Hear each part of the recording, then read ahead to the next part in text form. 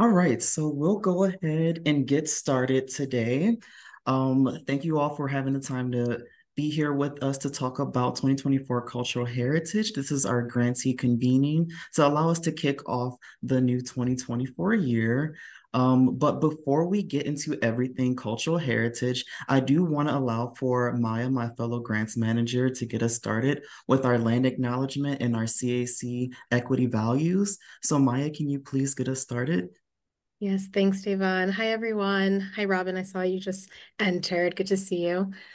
Um, yeah, before we begin, we want to acknowledge that the land that we stand on and the place that we call Cuyahoga County is land that was claimed by the United States government through force, displacement, and treaties negotiated in bad faith.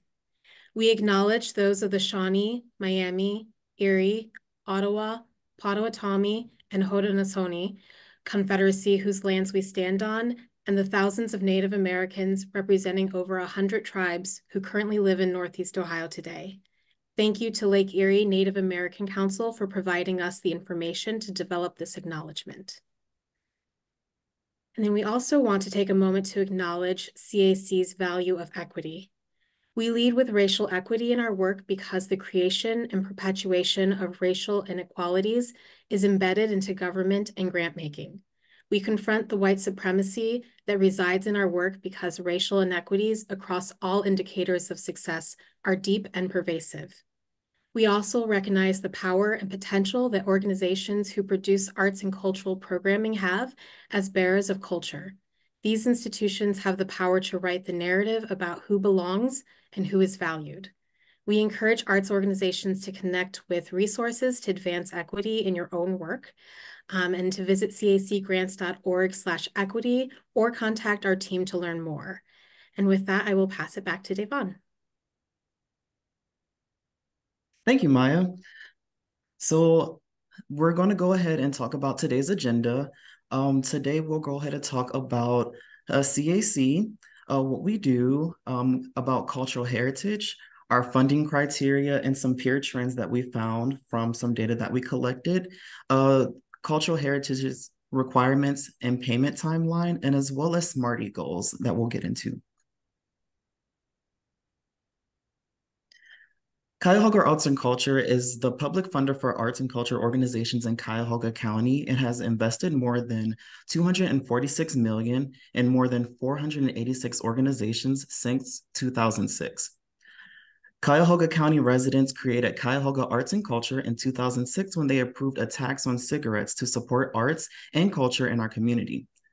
This levy was renewed in 2015 and now runs through 2027. Our mission is to inspire and strengthen the community by investing in arts and culture. Cuyahoga Arts and Culture archives its mission by investing in 501c3 arts and culture organizations and projects in Cuyahoga County. We are proud to announce that in 2024, CAC is investing almost $11.3 million through grants to a record breaking 300 organizations who will bring art and culture to our life in our community.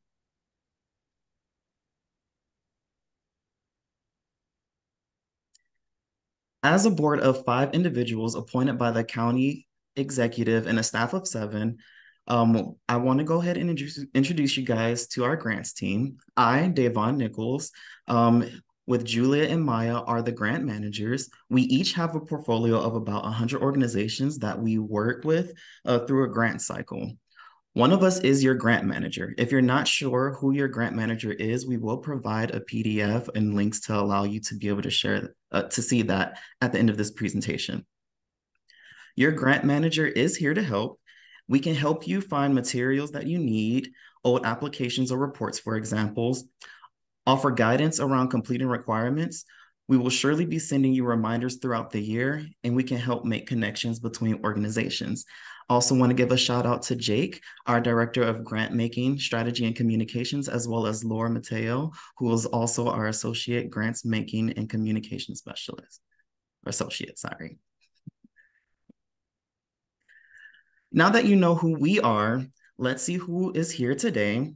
So please feel free to introduce yourself either by taking yourself off of mute or in the chat. You can share your name and pronouns, the role at your organization, the organization that you're representing, And a small bonus if you feel free, if you want, to share your favorite program or event from your organization.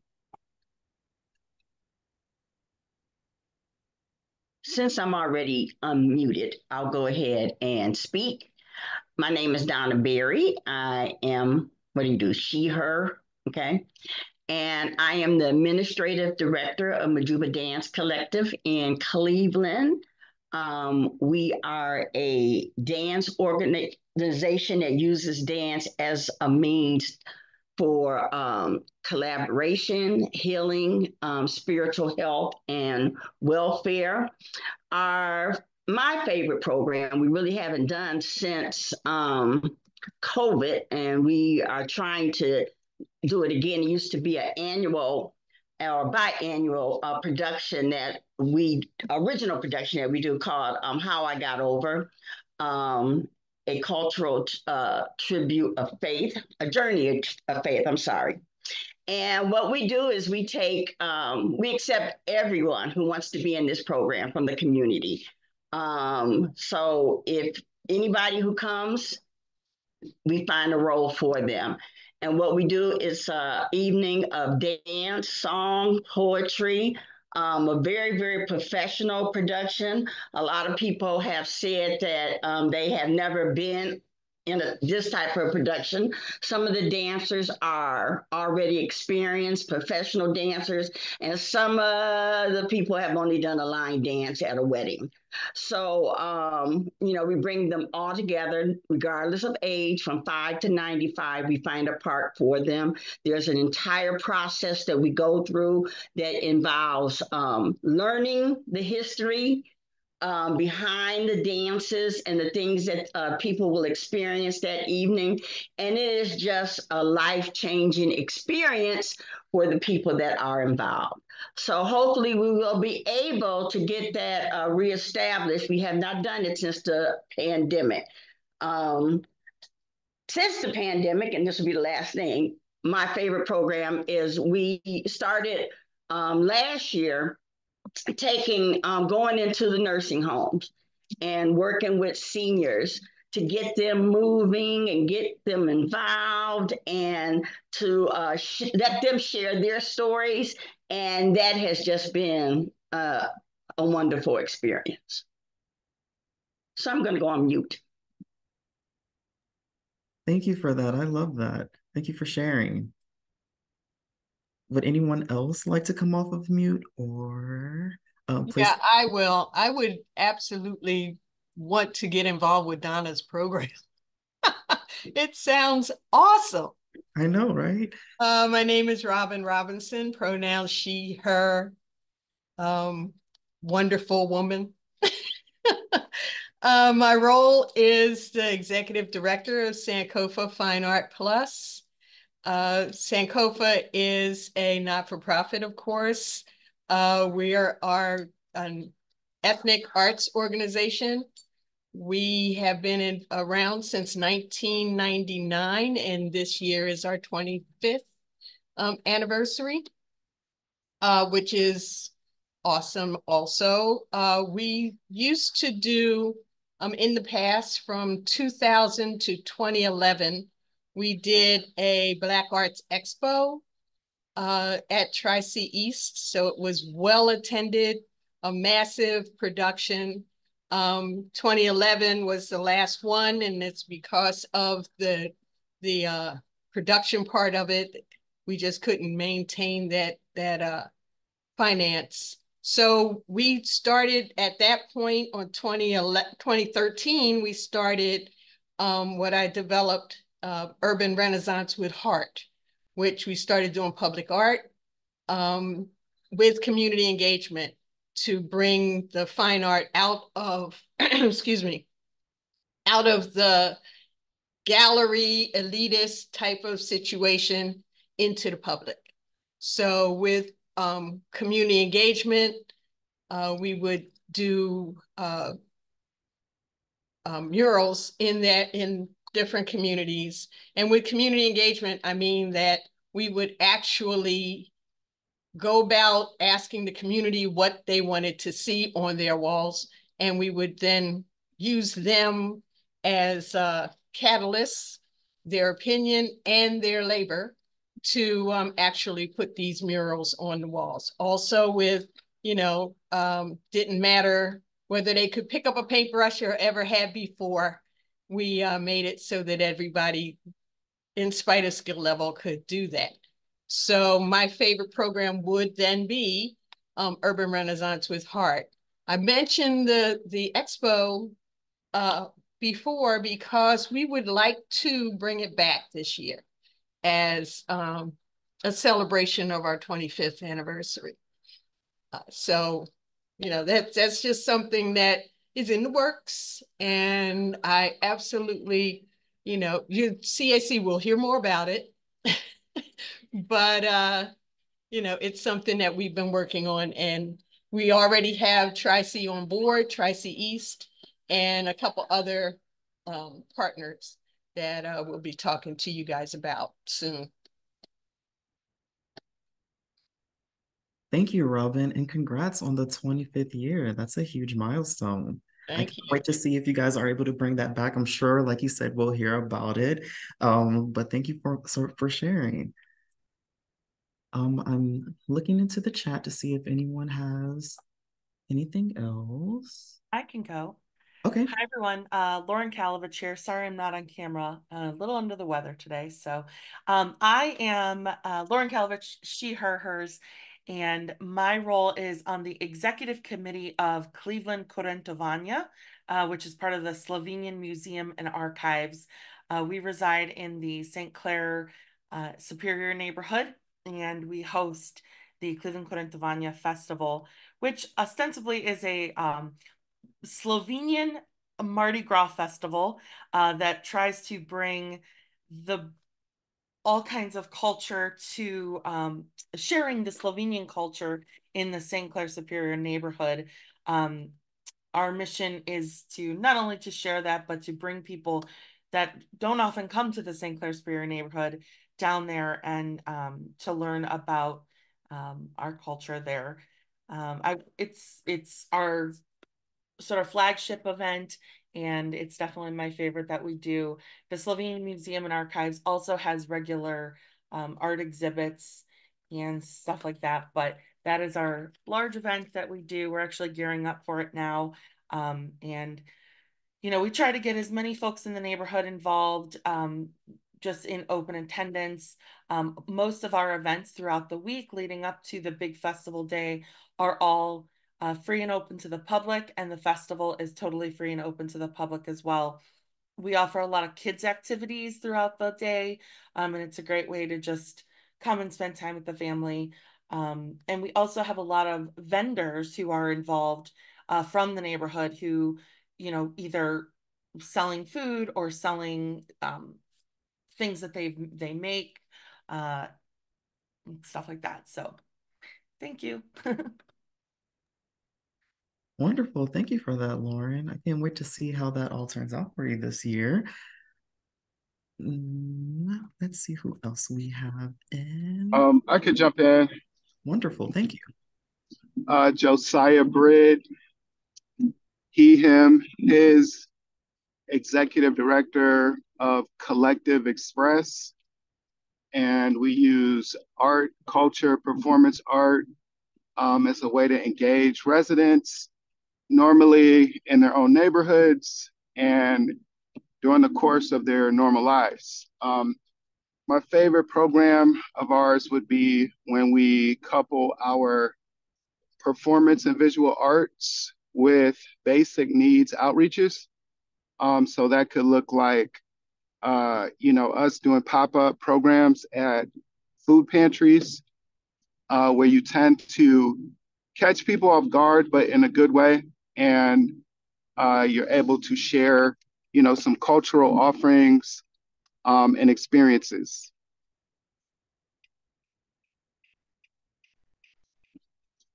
That's all I got.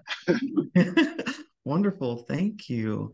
Um, I did want to uh, note uh, Josiah is one of our newer uh, grantees um, to Cultural Heritage this year. Um, most of our uh, grantees are returning. Um, we'll get more into the timeline of that, but let's welcome uh, Josiah and Collective Express um, for joining the group. Thank you. Glad to be here. All right. Um, taking a look, I think that is everyone who is present today. So we'll go ahead and move forward um, with the presentation.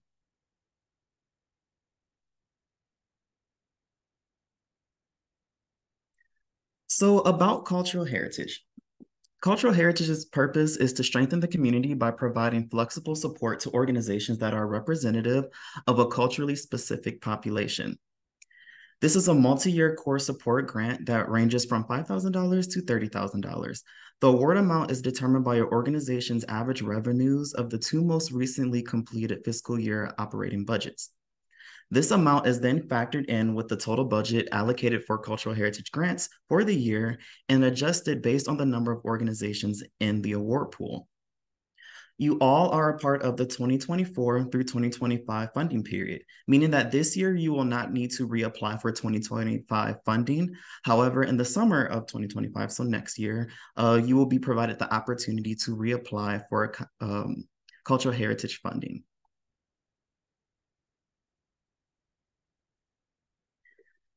So speaking of that, I am going to go ahead and hand it over to Julia to discuss our criteria and some trends that we found in the data that we pulled from our goal statements in 2023. Julia, please take it away. Thank you. So the funding criteria, these are the characteristics that new applicants are assessed for. So Josiah and Collective Express went through the application process this year, um, and their application was assessed around these. And they're also what returning grantees, so the rest of you and your organizations, are expected to demonstrate through your reporting. CAC's three funding criteria are public benefit, artistic and cultural vibrancy, and organizational capacity. So public benefit is an organization's ability to meaningfully connect with its community to achieve its mission. And you'll see the text here below it shows some common trends that we saw among cultural heritage grantees. Um, so around aiming to cater to the specific demographic groups that their organizations serve, uh, but also aiming to reach audiences outside of those demographics, for example. Several organizations recognized that diverse crowds lead to broader understanding of your organization's purpose and increased cultural exchange. So these are great goals to have regarding, you know, part of public benefit being accessible and inviting to your community and the broader public. Artistic and cultural vibrancy is an organization's ability to create relevant and engaging work that furthers its mission. Some examples from 2023 include enhancing or expanding general programming, as well as collaborations or partnerships within the community. This is the perfect time to look at your peers' programs and see what you can learn from each other, a great way to stay informed on each other is by signing up for our recurring, our biweekly newsletter, which we'll speak more about soon. But going back to collaborations and partnerships, they're a great way to help build the capacity of arts and arts and culture professionals and to help each other thrive there, which falls under that, that criteria. And lastly, organizational capacity is an organization's ability to successfully plan for and manage its resources. Several of these organizations in the pool here work towards building the capacity of your boards and your staff. So things like recruiting, maintaining, and training board or staff members to help carry out your initiatives more efficiently. So we recommend, you know, as the grant year is starting, you take a look at the full criteria and their descriptions, which are available in our guidelines, giving that a good, a good read because regardless of whether you had to apply this year or not, all cultural heritage grantees are expected to show evidence of the funding criteria through your reporting, which we'll get to shortly. Um, these can be found on page six of the guidelines, and we will send a link um, with that uh, when we share this presentation later. Um, but for now, let's move on to a common term that shows up in our funding criteria's definitions, which is the word belonging. So the concept of belonging intersects with our funding criteria and is a value that CAC holds close, in particular around public benefit, the first and most emphasis most emphasized of our funding criteria. We define this and several other important terms in our glossary, which is linked in the guidelines and in this presentation, which we'll share. The glossary includes words like diverse, sharing power, community, and, and others. So belonging is about an unwavering commitment to not simply tolerating and respecting difference, but to ensure that all people are welcome and feel that they belong in a given space. This illustration here, which comes from John A. Powell and the Othering and Belonging Institute, is a great example of that. Belonging is not just about inviting people into the circle, but expanding it or bringing more chairs in, for example. It's about bridging between differences rather than requiring people to change or integrate. It's about co-creating and co-owning. So in organizations and institutions, this concept should be present at all levels, not just in an education or outreach department, but especially in leadership where power is held. Belonging in practice will look different at every organization, but it won't include things like tokenizing, extractive partnerships with smaller organizations, or outreach programs into communities where you have no relationships built. I found the materials from the Othering and Belonging Institute to be super practical and understandable and very helpful in our work at CAC. And so we will share a link to the, their materials as well at the end. And I'm going to pass it back to Davon.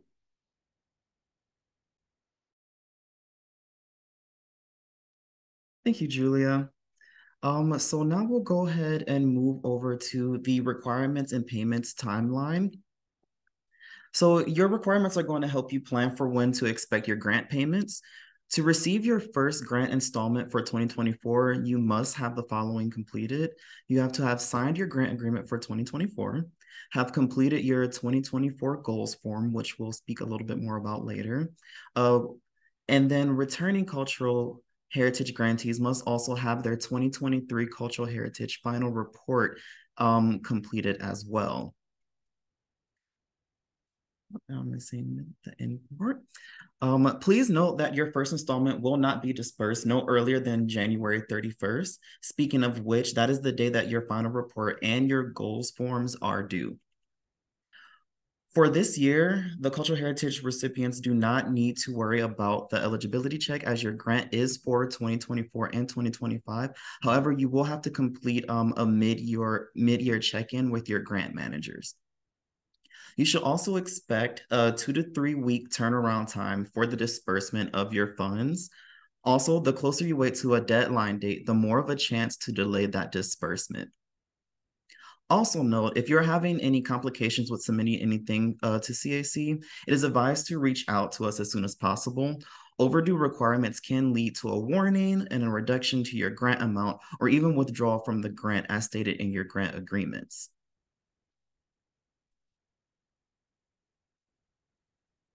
So let's go ahead and talk about our funding requirements.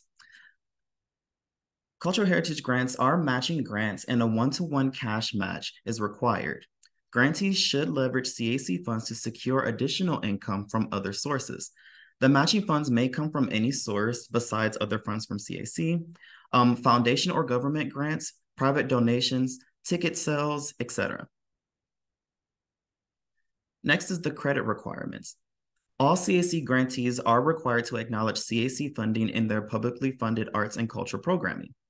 By sharing with audiences that your program was funded by the residents of Cuyahoga County through CAC, you're showing that the public funding for the arts can do it in real time. Your grant is important advocacy to help champion public funding. You can do this in many ways in your printed programs or website. Um, through a pre-show announcement in your marketing emails or even uh, for venues and exhibit signages. And for events calendar, grant recipients are also required to post events on clevelandartsevents.com. This site is a live and managed events calendar of arts and culture events happening in the greater Cleveland area. It's visited by thousands of Cuyahoga County residents each month and is a great opportunity to reach a wider audience. Cultural Heritage grantees shall have at least one active event posted for each month at, um, at the organization's public funding pro programming. Apologies. So for example, if you have five programs in March, uh, you must post at least one of them. Um, you don't have to post all of them.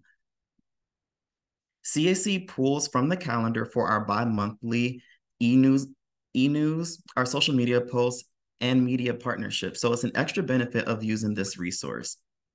These requirements are outlined with clear instructions in the credit expectations handout that we will share um, towards the end of this presentation as well. Further on clevelandartsevents.com, this helps residents connect with Cuyahoga County's vibrant arts and cultural scene. By posting your events on this community calendar, you are not only meeting the terms of your grant agreement, but you are demonstrating public benefit and connecting with county residents. All grantees have profiles created for use. Should you have any issues accessing your account or need assistance with crediting materials, please reach out to us and we will get to uh, assist you as you may need. Also, in the chat, um, I am going to go ahead and give you guys um, a link um, at the end of this, but we wanted to mention that uh, Cleveland Arts and Events has a lunch and learn happening on January 24th from 12 to 1 p.m. Here you can learn more about the features and tools at your disposal for promoting and finding events, opportunities, local artists, space, and more.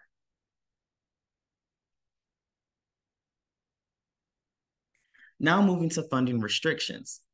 This long list here are things that you cannot spend CAC funds or. So for example, programs or activities outside of Cuyahoga County, activities that aren't open to the public, fundraising events, re-granting, scholarships or awards, food or receptions, capital improvements, advocacy. There are several others, as you can see from the list, um, but you can find the comprehensive list in your uh, CAC grant agreement on page 11 of the 2020 or on page 11 of the 2024 Cultural Heritage Guidelines.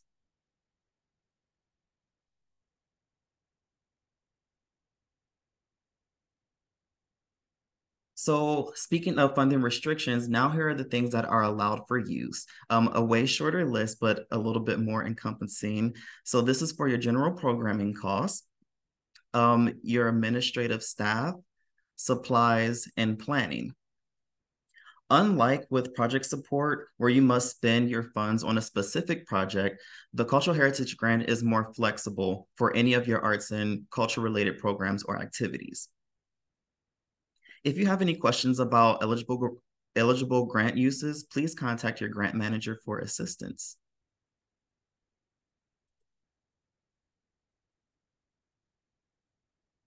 So earlier we mentioned um, on the requirements timeline, something about your final reports. If you started your final report for 2023, you may have noticed a new inquiry. This will be new for those who are entering cultural heritage this, uh, this year as well. CAC will begin to require revenue and expense reports for your most recently ended fiscal year, as well as projected revenues and expenses for your current fiscal year with your regular reporting. This will supplement 990 data that CAC collects to understand your organization's finances. Organizations with fiscal year end date between January 1st through June 30th will report their completed financial information, revenue, and expenses for their FY 2024 and projected revenue and expenses for fiscal year 2025 at their mid year uh, check in. That'll be due um, typically by July 31st, 2024. Organizations with a fiscal year end date between July 1st through December 31st will report their completed financial information, revenue, and expenses for their fiscal year 2024 and projected revenue and expenses for fiscal year 2025 at the end um, of this year. So that will be due um, by January 31st of 2025 in your final report or your year-end report. For those of you who are returning cultural heritage grantees, a request for your 2023 actual revenue and expenses and 2024 projections appeared in your final report, but is completely optional for now. However, please note that you will have to submit this financial data in future reports. We will have ample communications to gear you up for those deadlines, but should you have any questions, we are definitely here to assist you.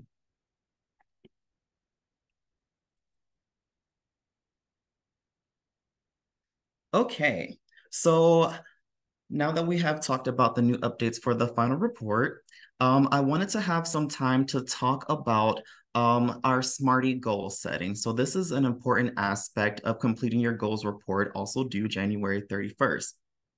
I want to break down the compartments of the SMARTIE goals as well as review some hypothetical questions to assist with fine tuning your SMARTIE goals um, that you will set for yourself in your goals report. So as you can see on the screen, a SMARTIE is an acronym that stands for strategic, measurable, ambitious, realistic, time-bound, inclusive, and equitable. So for strategic, we want to ask ourselves, does this help us to achieve our mission and vision statement? An example would be if CAC funds nonprofits for arts and culture, um, but we will not fund cancer campaigns. It's a great cause, but it's unrelated to our purpose. For measurable, can the results be described in specific terms like size, amount, duration, impact, or interactions? For example, a better work environment can make my staff happier versus we will allocate quarterly check-ins to address needs as they come up. So we see how we're taking a general um, idea and kind of specifying um, the different components of that goal. For ambitious, does it challenge us and motivate us for success? For example, we will hire new diverse board members versus we will bring in board members to help guide us in these particular subjects. For realistic, is this sensible and practical of what our capacity allows? An unrealistic example would be we will double our revenues by 2025 by continuing our current programming. For time bound, are we aiming for completion or progress? And by when? For example, to, ex to expand our general programming versus by June 2024, we will launch our new or have completed our new. For inclusive, does this exclude any of the parties or groups affected by this goal?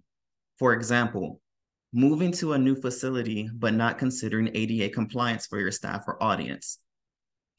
And for equitable, does the outcome lead to more flexibility to address and relieve the needs of everyone affected? Continuing from the last example, speaking to a consultant about ADA accessibility before making your final decision. Try to keep some of these inquiries in mind as you complete your 2024 goals report due January 31st. Be sure to use your strategic plan and plug in goals that your organization already has. The idea isn't that you're making extra work for CAC, but showing that the work that you have planned to do already this year aligns with your goals.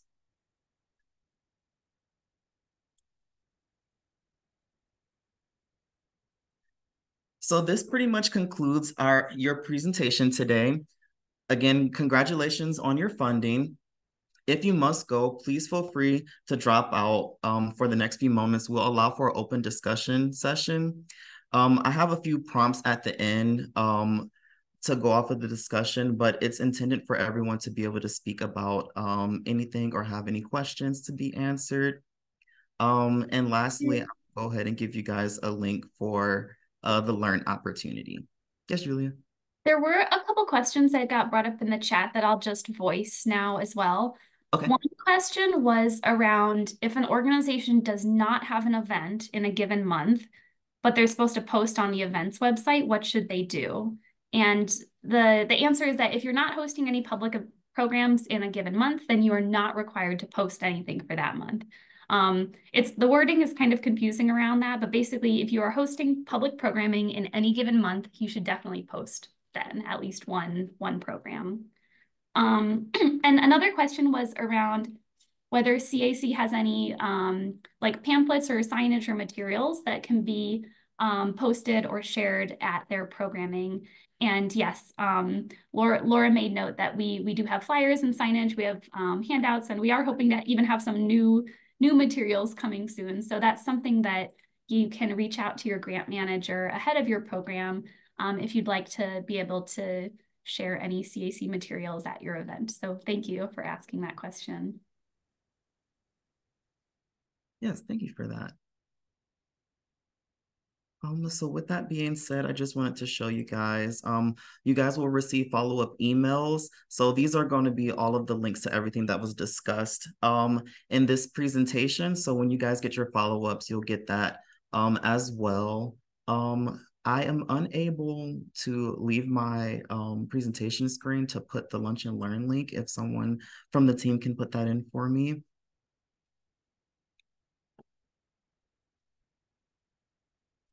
All right. And then I have some prompts here for some open discussion topics. Um, these include things like providing any feedback for CAC, um, if you want to reflect on some struggles with some goals that you might have set last year, um, do you want to share any stories of success towards your goals um, with your peers? Um, would you like to share any resources with your peers? Um, again, still open to asking questions regarding cultural heritage um, and anything else. Um, I do want to say thank you guys for taking the time to attend this convening today. If you have to go, um, have a great night. Thank you so much for attending. Um, and we'll go ahead and leave this open for any open discussions. I'm going to go ahead and close the share screen so I can see everyone clearly.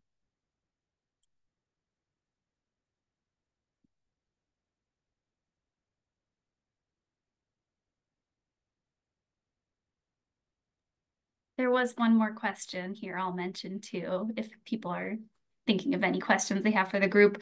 Um, Donna asked if we'll be able to report virtually instead of a written report.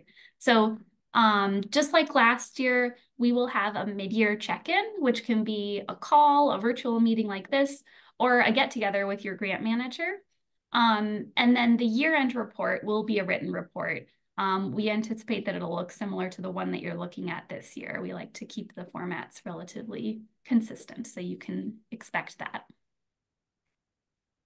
And it looks like Laura just plugged in the link to the lunch and learn about using clevelandartsevents.com. Wonderful. Thank you. Thank you.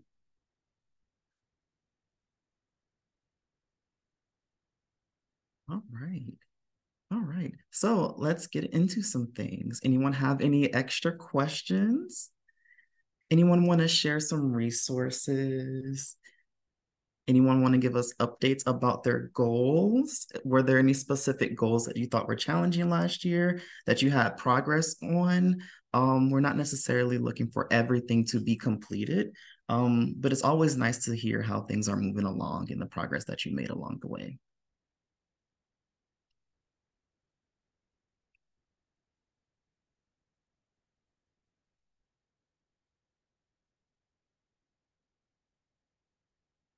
Perfect. Okay, thank you, Robin.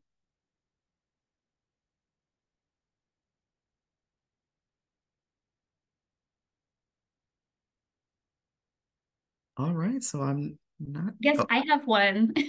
this, this is maybe me repeating myself, but um, you know, when when trying to think about operationalizing equity in our own organization, I have found that it's really difficult, and there's a lot of resources out there that kind of tell you why equity is good, but not how to plug it into your work. And, you know, part of that job belongs to us of figuring it out for ourselves. And I certainly acknowledge that. But I do also really think that the materials that the Othering and Belonging Institute shares for free on their website are truly super clear and they reframe it in a way that I think all types of organizations could benefit from.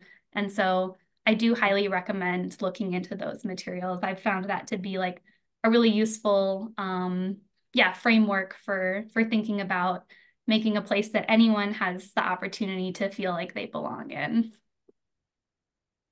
Yeah, I agree. Thank you for uh, mentioning that. Um, I really like how their layouts are. Um, they even have like case studies and examples for those who are like, I get the gist of it, but like, how did this play out? So I love seeing that as well, um, recorded in their archives.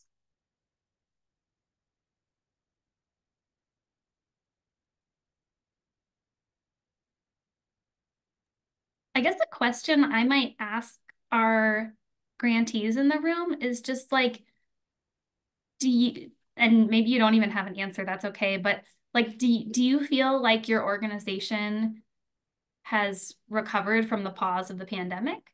Or do you feel like your organization has transformed permanently based on it and there's a new normal? Um, yeah, this is maybe just like a, a feeler question if anyone's interested in talking about it. I can sort of speak to that. Um, with regards to Cleveland Current we, uh, we, you know, we had to drastically shift, obviously, like everyone did, um, in the first year of the pandemic in 21, and we went completely virtual. And, and what that did was it allowed us to really grow our audiences, not just outside of Cleveland, but outside of Ohio, um, and even further outside of the United States, we gained a lot of followers um, from Canada, from Europe, from even like places like Argentina and Australia, um, and Japan uh, also, now that I'm thinking of it. Wow. Um, and I think the way we, I would say we're at the point now where we're really preparing for our first year, quote unquote, back, um, where I feel like we're, we're sort of out of the, um, chaos maybe um but you know we've really taken a lot of things away. We are still very much hybrid. We are never going back to being in person only. Uh, those audiences that we built are vital to us now. They're part of our contingency. And so um, making sure that we're offering that um, programming uh, virtually as well as in person. And then also figuring out how the in-person programming uh, can also be more inclusive um, trying to focus on different topics so that we're we're broadening our audience there as well. Um, and then furthermore just from a safety and health perspective we're, we're never going back to being an all indoor festival. We will forever be an indoor outdoor festival. So um, I think it's changed us for the better. Maybe at first we didn't think so, but now now I think we've definitely um, in a way grown to appreciate what we've become from it. Wonderful. Wonderful. It's nice to hear that. COVID was a doozy, but um, I'm happy that you guys are, you know, turning it into something that benefits you guys um, and how you can operate. And also, the reach that you guys are having is quite impressive. So, congrats to that as well. Thank you.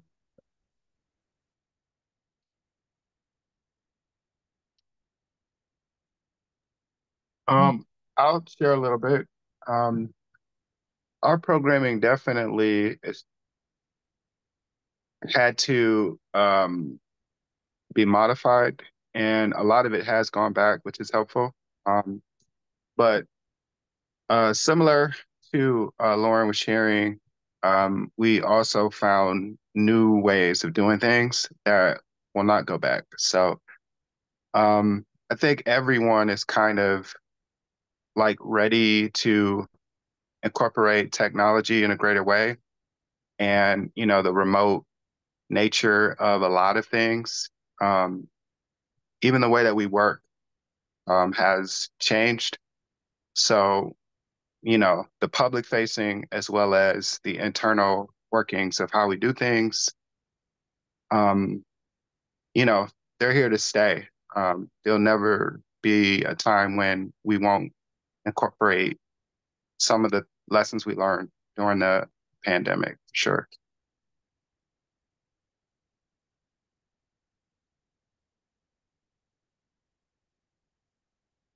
Yeah, the pandemic has definitely changed some things. Um, have you guys um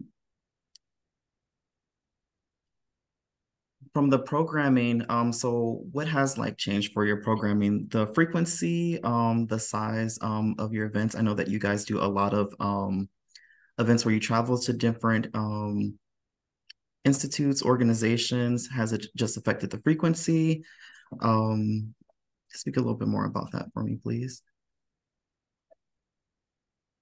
Uh, for for a while, like all of our educational programs were virtual and only virtual. Uh, those have come back now to being in person at schools, libraries, um, institutions like that. Uh, but our community programs um, have taken on like a new approach in a lot of ways. Um, I know I mentioned earlier about my favorite program, which is when we partner with Basic Needs. Mm-hmm. Um, a lot of basic needs outreaches are no longer um, the kind where you get, you know, a room full of people waiting around to, you know, get particular services, food, uh, things like that. A lot of it is drive through. Mm. Um, and, and so that has definitely affected, you know, the way that we interact. Um, and, you know, we're just finding ways to kind of just partner with the new normals that everyone else has. Um, you know, even with masks and, and things like that. Um, we're handing out, you know, um, it used to be just like hygienic products, but you know, a lot of it is like, you know, sanitary type stuff. Um, you know, um, hand sanitizer and and and things like that are really in demand still. So, um, you know, just just it was a fluctuation that took place, but it's it's here. It's here to stay. So, um, you know, the challenges of today, somebody has to meet it, and I feel like if you don't alter your course, then you're just re less relevant.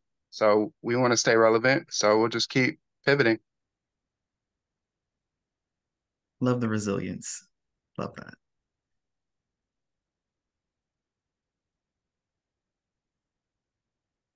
well, let me look at the chat one more time.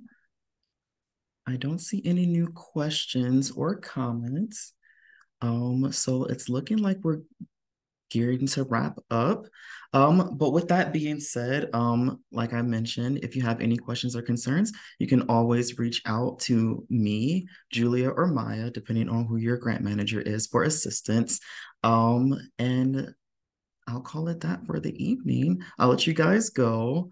Um, and we'll speak to you guys soon. Remember your due dates are January 31st. Bye everyone. Thank you.